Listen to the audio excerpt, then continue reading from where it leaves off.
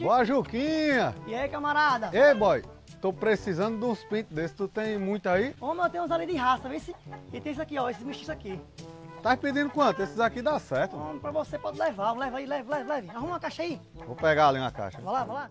Ei, Júlio, o Natal aqui em casa foi massa, viu? E lá na tua casa, como é que foi? Ei, foi bom demais, viu, Rodrigo? Gente, que nem a molesta. Agora, caro tá as coisas, viu? Comprei um Winchester, pelo amor de Deus, quase 200 conto. E lá gente demais, tem que comprar dois. É porque tu não tem as manhas, Júlio. Eu vou te contar um negócio que não era nem pra contar. Mas tu é meu amigo, vem aqui pra tu ver. Vamos de brincadeira? Vamos aqui olhar? Bora! Chega.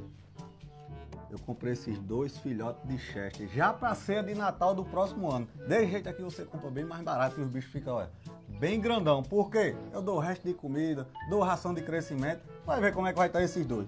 Paguei 200 conto aí, o preço de um que tu comprou. Rapaz, eu queria ser inteligente assim igual a tu, viu, Rodrigo? Tu me passa esses bichos? Olha, eu consigo passar você pelo mesmo preço, mas com uma condição. Você vai me chamar pra ceia de Natal lá na sua casa, viu? Tá pego! Os bichos são meus. Chega pra cá. Só botei esse Chester aí na tua mão porque tu é meu amigo, viu? Rapaz, Rodrigo, você não é um amigo, não. Você é um irmão, viu? Eita, que agora eu vou contar todo mundo de Papai Noel aí. Eita, que ano que vem eu vou comprar o Chester mesmo, que eu me apeguei aos bichos, viu? Não vão pra panela não, né, meu filho?